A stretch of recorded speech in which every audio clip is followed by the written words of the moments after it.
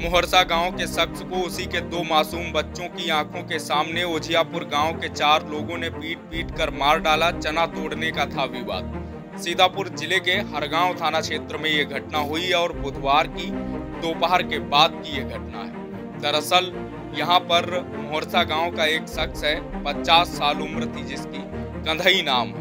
आपको बता दें कि कथई बकरी चराने के लिए गया हुआ था। इसके दो मासूम बच्चे भी इसके आसपास ही थे। और पड़ोस में ओझियापुर गाँव के शख्स का एक खेत था, जिसमें दो मासूम बच्चों ने चने तोड़ लिए। और इसी को लेकर के जो खेत का मालिक था, वो चार लोगों के साथ आया और उसने लड़ाई झगड़ा शुरू कर दिया। लड़ाई झगड़ा इतना बढ़ गया कि कंधई को पीट पीट कर उसी के दो मासूम बच्चों की आँखों के सामने ही मार दिया गया। और मासूम बच्चे बेचारे कुछ न कर सके।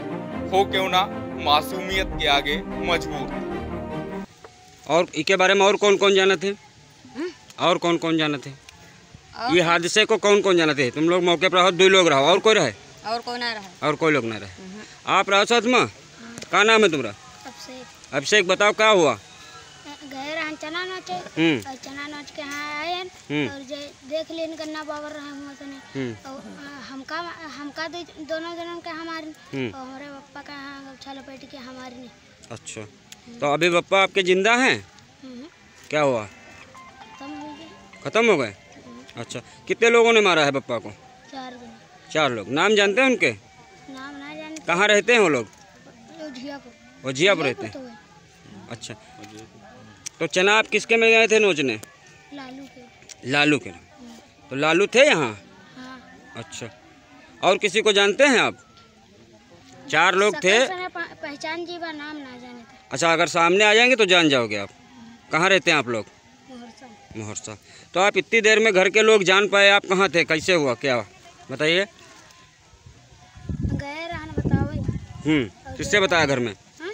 घर में किससे बताया था? हम्म। हाँ रहे। अच्छा अच्छा। चलो।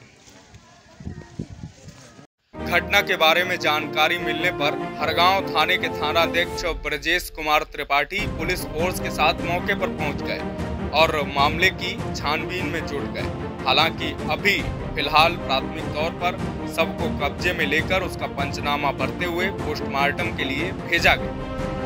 Bureau report star India live. Sitapur